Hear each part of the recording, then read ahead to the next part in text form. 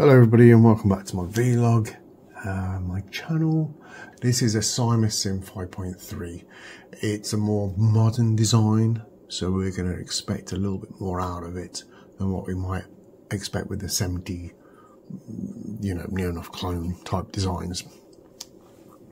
Uh, it's uh, pretty easy to put together. The hardest thing on this uh, is sticking the heatsink on and getting it all screwed on there, but that's for me difficult just because I'm not as you know I'm not very good with my hands like that particularly. But I managed to do it as you can see on this. I got a big old heatsink and I managed to screw everything to it. Uh, down here we have its parameters. Working status class A and B working power 100 plus 100 watts. And this is at the voltage of plus minus 45 volts. Working voltage dual 20 volts to dual 45 volts Distortion THD is 0.002 into 1 kilohertz. Hmm. Well, we'll see. We'll see with the measurements I can make with the equipment that I've got. This isn't the best equipment, and I'm sure that um, let's just give it a little bit to the advert. Um, full power THD is uh, 0. well, 005 into 10 kilohertz full power. Probably won't be doing the 10 kilohertz, we'll do the 1 kilohertz. Um, let's have a look. Drive tube, Toshiba famous tube, NJW0302 and 02, the NJW0281. Trying to see if there's anything there. Audio amplifier Symasym is a very well known circuit on the foreign DIY audio for forum. The number of clicks on this circuit post will be very active. It sounds, it its sound quality can be said to be very good. The 200 watt power is very suitable for home use. Yeah, I mean, I don't, I don't need 200 watts, but um, well, I've listened to the to this, and I've had listened to it. I've listened to it on my bigger speakers. I've listened to it small. I think it sounds smashing. It sounds very nice. Um, it's going on about help to friend install, blah blah. But there's the pictures again. Uh, so let's just crack on with the uh, with our with our tests. Okay, so I've got this set up now and um, I'm giving it the full the full input that I can give it, which, well, that it says it's 45 volts a side, so up the top there we've got two 22.5s and down the bottom here two 22.5s. Alright, so we've got 45 volts going in there. Using an 8 ohm dummy load, which is just on this side of here. We can do a 4 ohm check with this, but we'll do that in using the other bit of kit. And uh, yeah, and we're using Arta, so if we go to the screen, we can see that I've already been running this. Uh, if I put this on now, and as you can see, this is running at this moment in time. The most prominent here is a third harmonic, is our uh, 3K, which it would be preferable if it wasn't actually that, but it is. We can see over here, I just put that there for a moment, what sort of current we're pulling on this. Uh, so we got 0.034, alright. Not too bad, it's as close as I can get it to minus 3 dBFS when it's calibrated for, and we got a minus 73.32. Uh, then let me just take that uh, stress off there, but that's running at full board, slightly over and like I say it's the 3 kilohertz which is the one that sticks out the most. If we look at our 2 kilohertz it'd be lovely if this was all like this.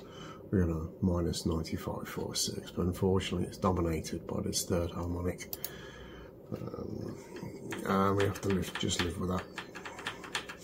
Alright let's have a look at the frequency response and let me just check on the what's going on now. I know that needs to come down a couple for that to get as close to the white line as possible. Uh, to the zero line, I try and get it as close to that as possible. There you you can see that there. Um, can we just, oh wait, just bring that down. And back to there without adjusting there, there we go. We normally look at the scale as 3 dB positive, 3 dB negative. And so this is what we got. This is our 20 hertz. Alright, if I just go there, 20 there, that's close to 20 hertz. And so we got a uh, 0.15 dB down at 20 hertz. Look at the 100 hertz up closest down it. We're, we're right on the line there. And the same pretty much for the 1000. Get to our 10k, it's not far off it at all. This is nothing really in 20. Uh, it's all good. It's all good. That's that's really nice actually compared to long. That's really nice.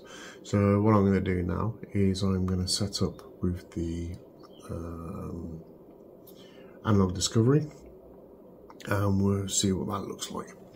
Alright, so we got our um, analog discovery 2 set up. Got a differential probe connected in there to the blue terminal and we've got our dummy load. I'm on 8 ohms.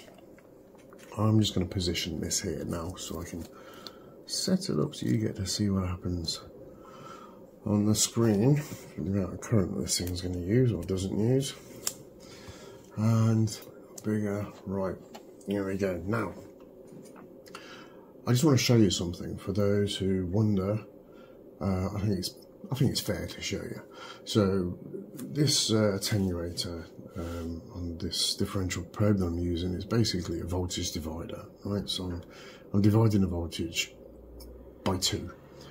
So if I put a 50 volts in, it's 25 volts, 50 volts out of my amp, 50 volt, 25 volts on the input. And the other day, I changed the attenuation partway through doing the measurements. And I said it didn't matter uh, that the external attenuation hadn't been changed while I did, like the uh, the uh, THD plus noise versus frequency. And I want to show you now, just very quickly, and I will change the attenuation, um, is why that is the case, why it doesn't actually matter. It's because we're not, it, you know, it, it, some would say we you should do. Yeah, yeah, I'm going to, but I'm going to show you now. I want you to see the result here, and then we can compare it to the result with the attenuation changed. Okay, so here we are. Right, and as you can see, let's have a look for the peaks. So we've got a peak here, that's uh, 0.08, uh, 780 hertz, so 100 hertz. And if we look at the THD, getting rid of the noise, you can see this is all uh, 0.04, 0.04, 0.04, 0.03, 0.03, 0.03, you know, 0.01 there, lovely, beautiful. Now I'm going to change the attenuation and just change that to 2. And click on that, and we're going to do it again. I'm going to put it back here so you can have another little look. Yeah, have a little look. Now let's just run that baby again.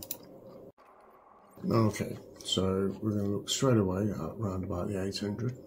781. Look, it's exactly the same. Uh, go over here, exactly the same. Let's just uh, get rid of this and we get a nice line 04, 04, 04, 04, 03, 03, 03.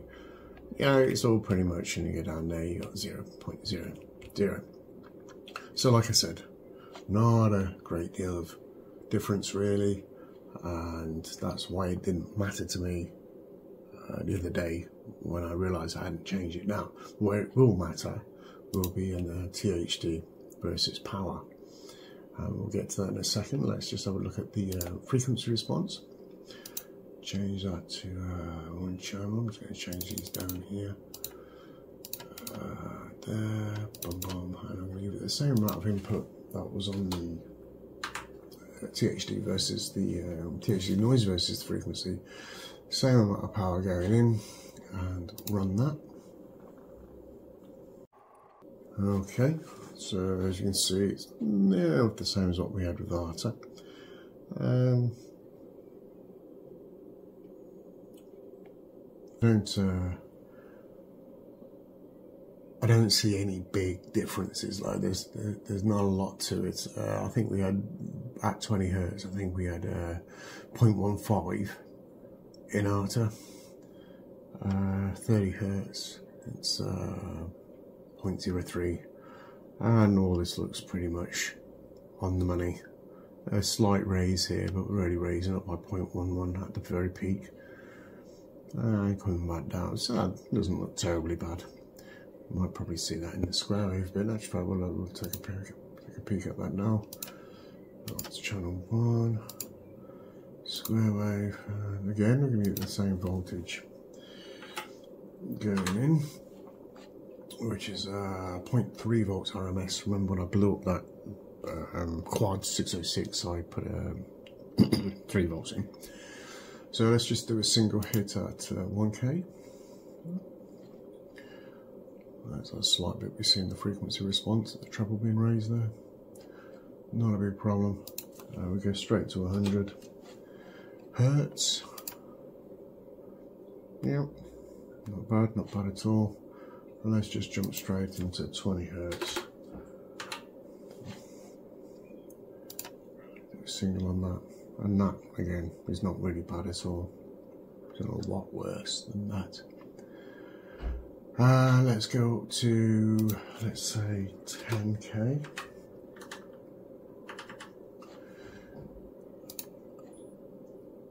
Yeah, not bad. Yeah, still a square wave. Let's go 20.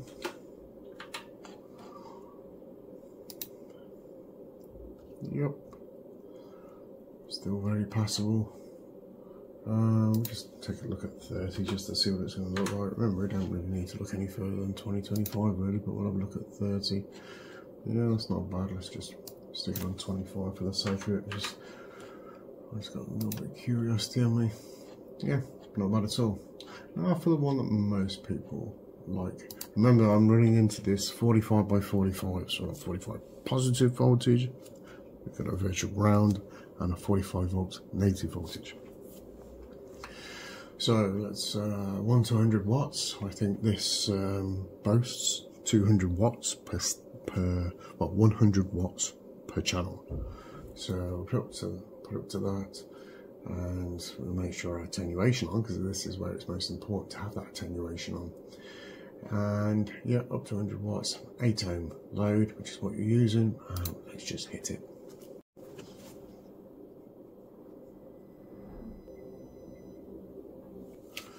Okay, so, well, as you can see from up here, I hope you can see that we're on uh, 0.067 when we hit 100 watts. 101, if you want to take that number as um, being absolutely accurate. So yeah, that's uh, that's nice. I think we went into 0.1% um, round about 6 watts. Let's have a look. We hit the line there, about 6, 7 watts got a line there, about six watts yet.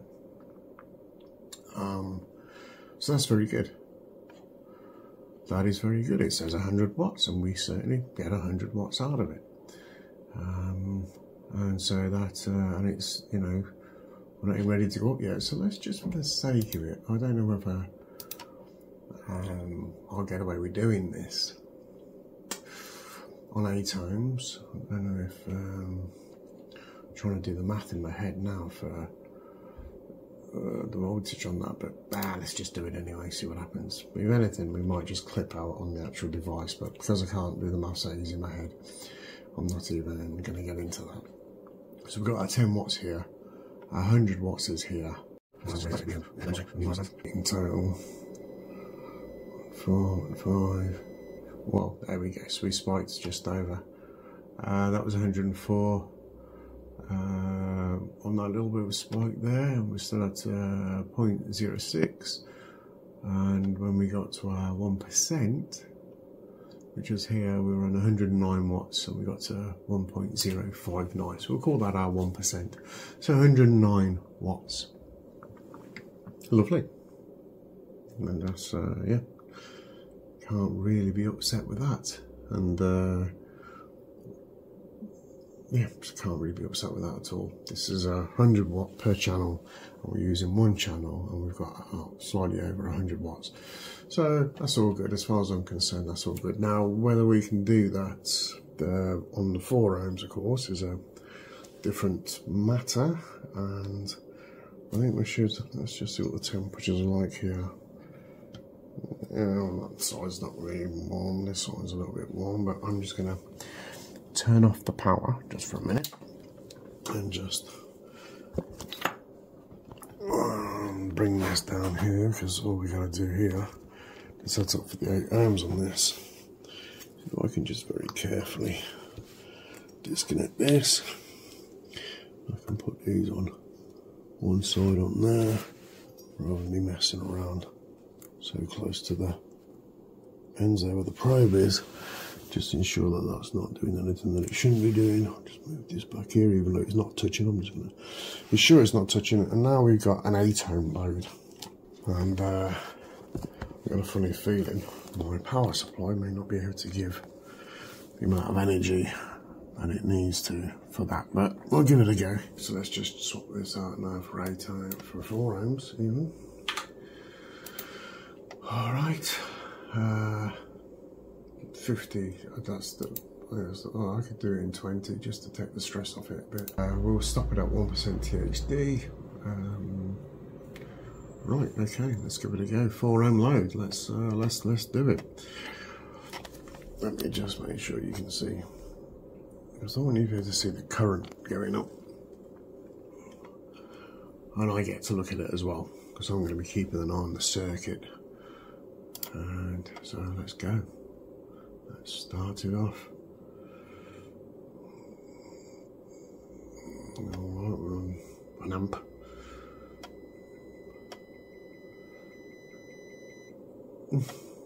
Alright, well, so according to this, which it could be wrong, of course, it could be that I didn't have enough power, I'll have to look back, uh, but we managed to get 140 watts out of it, 139 watts out of it before we hit 130 watts out of it before we uh, 0.1. Okay, so we've got this set up now um, using the 300 VA uh, 35 035 AC transformer gives about 42 volts on the output, uh, 42 0 42 DC. Uh, I've got a little capacitor bank there, 15 millifarad aside. And over there we connected up for an 8 ohm load. The extra wires were just being fed up to the um, multimeter there so I could just see what sort of voltage drop there was across. Uh, there's a couple of volts get dropped off. Not going to worry too much about that. It's not a very expensive uh, transformer. Alright, so we're going to go straight into this. Let's get our attenuation correct. Okay, so 4 ohms, um, 4 ohm impedance, 1 to 1000 watts, channel 1, THD, noise steps 50, Let's run.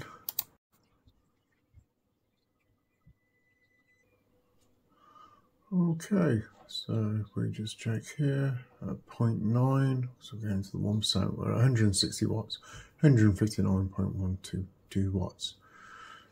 Uh, yeah, I mean, that's, that's what we get out of it. That's, uh, but we're not putting in a full 45 volts uh, I've got a funny feeling. I mean, this drops down to 40 volts, um, 0, 40 volts.